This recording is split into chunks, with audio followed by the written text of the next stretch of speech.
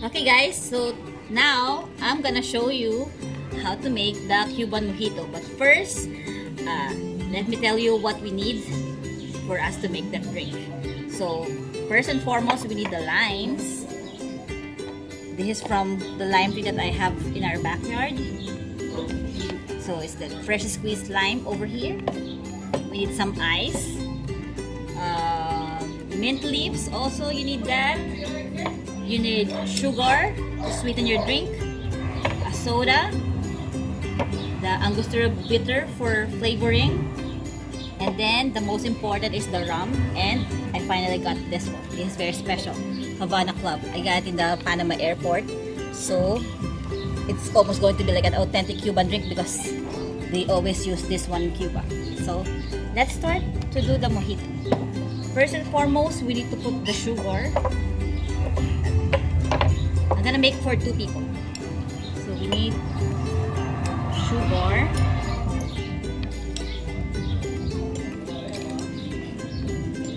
And then we need to put the lime juice.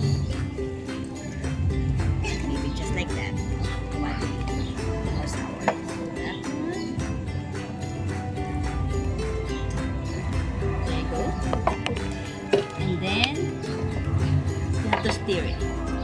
Oh no, I think you have to do a muddler. So this is a muddler.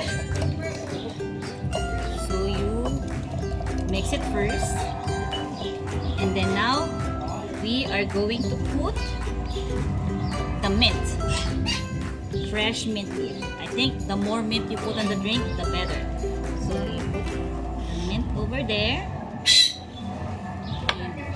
And more mint other glass. Mint. So there you go. And then you need the medler again.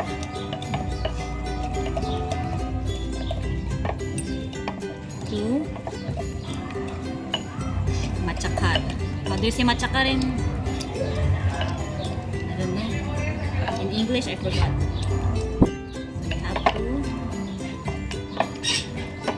Matsakar the hoja de menta.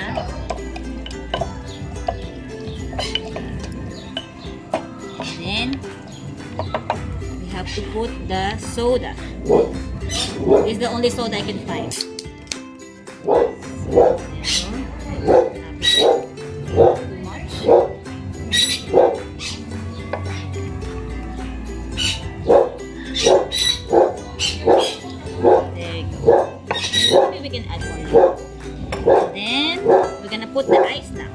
And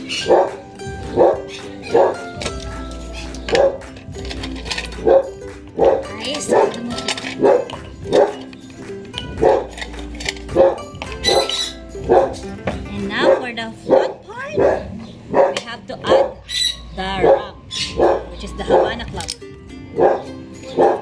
So it depends how strong you want your mojito to be. I'm just gonna put a little,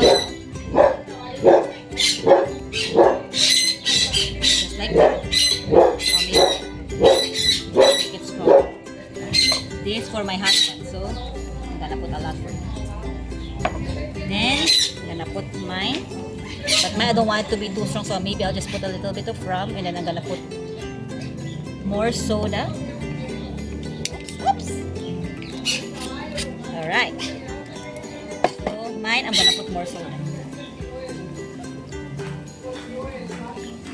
To Marcos, I'm gonna put more ice. And then maybe shake it a little bit. Mix it, mix it. So looking good already. Look, you see? You see the bubbles on the drink? There you go. See the bubbles? And then, the last one will be the Angostura bitter. So I don't really know what Angostura is, but I see this in Cuba. They put it on the last part of their preparation for the mojito. So I think it's just for to add a bit of flavor to the mojito. So maybe a few drops on mine. viele Jobs im Laden.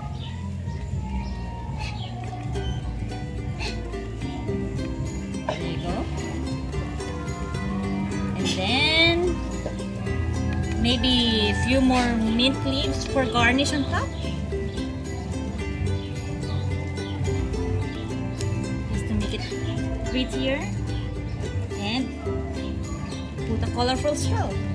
So there you are. Two mojitos to enjoy for this sunny hot afternoon. So now it's taste test. So we're gonna taste the mojito. But next time it's going to be Marcos who's gonna make the mojito because he can do it better than me. So Sito, come on, let's taste.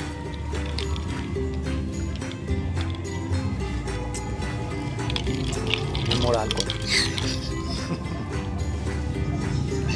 But it's good ah. It's good. Very refreshing.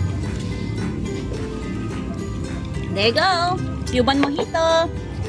Bye. Nice.